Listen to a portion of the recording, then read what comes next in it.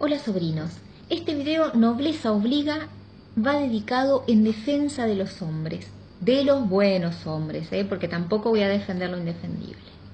A ver chicas, muchas de nosotras tenemos un problema que yo bauticé como el síndrome del chef profesional. O sea, tenemos más de 50 formas distintas de romper los huevos. Sí, somos muy densas las mujeres muchas veces.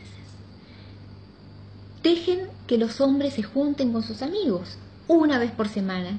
¿A qué se juntan? ¿Qué sé yo? Hablan de todo, del mundo, de la vida, eh, se la miren quien tiene más larga, se cuentan historias maravillosas y hablan de mujeres, obvio. Y está bien, y son felices, y ellos se reúnen porque no tienen tanta complejidad como nosotras, que siempre tenemos un pero, ay no, pero estoy cansada, pero ay no tengo para poner. Ellos con un cacho de carne y un vino son felices toda una noche y vienen felices a casa y está todo bien. O sea, dejémoslos que se junten con sus amigos. Por otro lado, los buenos tipos, que los hay y mucho, no están pensando todo el tiempo en meternos los cuernos no están mirando a todas las minas para ver de qué manera se la pueden levantar.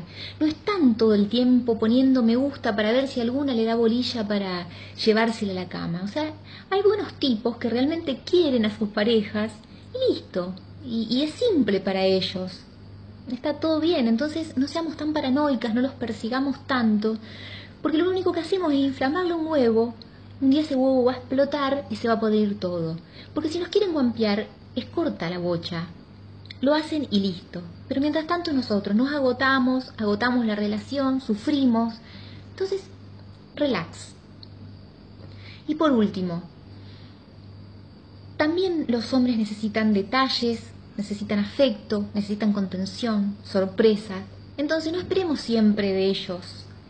También nosotras preparemos una rica comida, mandémosles un mensajito cariñoso durante el día, eh, pongámonos algo hot, alimentemos la fantasía. Yo creo que el pensamiento del hombre no es tan complejo como el nuestro, no, son tan jodidos. Yo creo que con pequeñas cosas podemos hacer que nuestros gordos, nuestros amores, nuestras parejas eh, estén felices. Así que bueno, queridos hombres, he cumplido con ustedes espero que se porten bien. Beso.